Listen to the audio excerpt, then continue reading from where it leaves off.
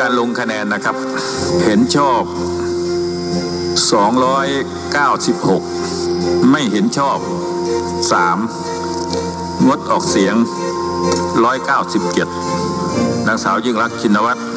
ได้รับเลือกตามมติของสภา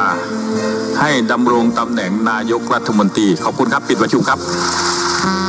สภาฉลุย ยิ่งลักษณ์ชินวัตรบนถนนการเมือง 49 วัน สู่ตำแหน่งนายกรัฐมนตรีหญิงคนแรกของประเทศไทย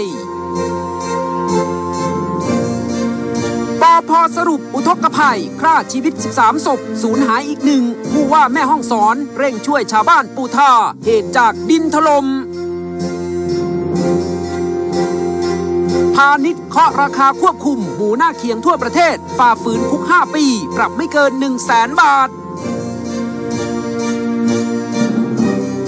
หามนักเรียนนครปฐมนับร้อย อาเจียนหลังกินนมโรงเรียนบูดเร่งตรวจสอบหาคนรับผิดชอบ พ่อเท่าวัย 88 เครียดปัญหาชีวิต ยิงเมียวัย 83 ป่วยเป็นอัมพาตดับก่อนยิงตัวตายตาม